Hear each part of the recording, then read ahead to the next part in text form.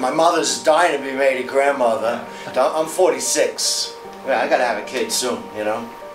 And here we are, three years later. Everyone knows that it doesn't always work.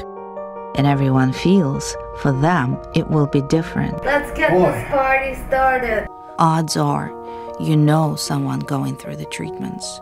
And odds are they haven't told you. Yeah. Do you see this? Oh yeah, I see him. That's it.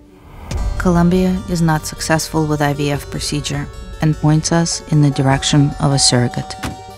We read that all we need was money and doing surrogacy overseas made it affordable.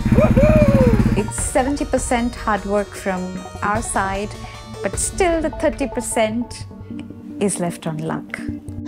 Oh, please, I hope. Hope, hope, hope.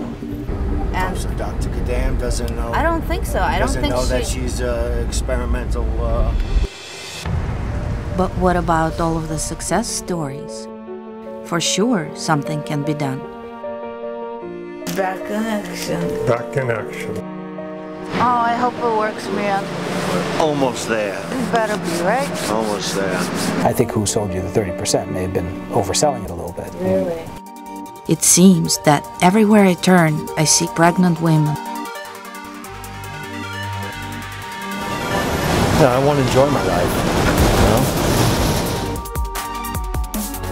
But it's not just to give it one more try because if I don't do it, I'm gonna spend the rest of my life thinking what it could have been.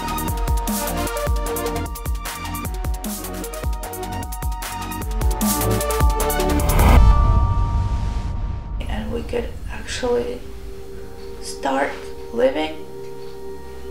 Wouldn't that be great?